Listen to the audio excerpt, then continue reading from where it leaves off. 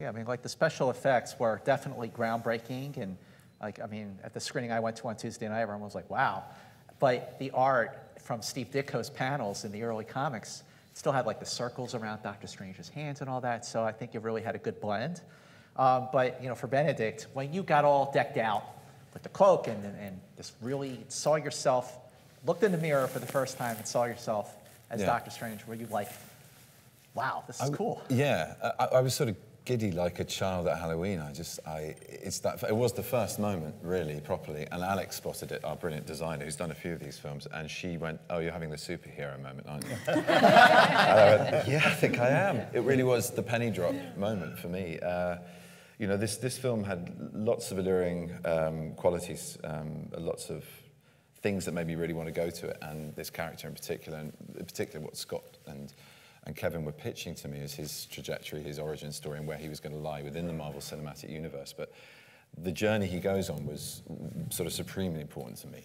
And the qualities of drama, but also great humor amongst that profundity Yeah. and that oddness and unique weirdness and newness that we were going to bring visually. So um, it, I'd kind of put the hero thing on the back burner. So when I first had that moment, it really was quite giddy. I just did end up just giggling. Um, and then the second time it really hit home was, was, was near the end of the, the, the main body of the shoot. In, when we were in New York, we were in, on Fifth Avenue, and there were as many paparazzi as there were crew. It was getting a little bit surreal. And, but we were on Fifth Avenue and running down it, sort of jumping, well, skipping really, but jumping to fly.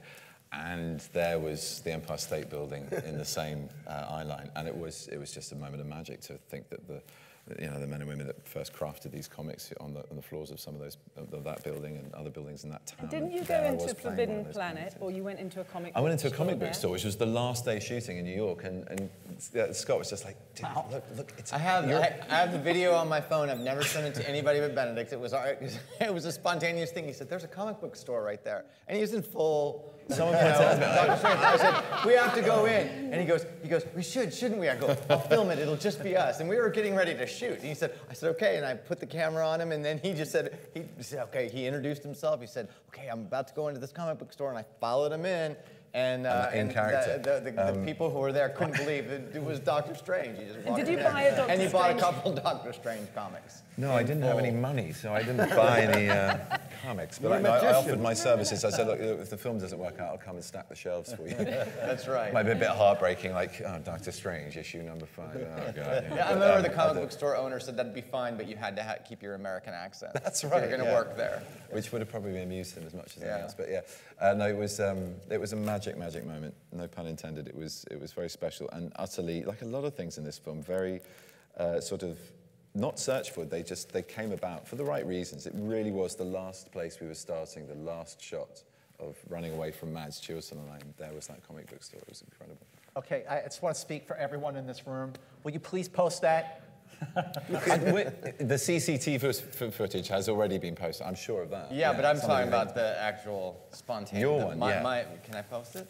I'm asking. No, I, no that's a no. everybody. That's a no. That's Benedict for no. Oh, no, no, was it? No, I thought it was Kevin for no. I was, I was, I was just looking at you. Okay. Actually, yes. But saying no. Okay, okay. I'll post it for Mads.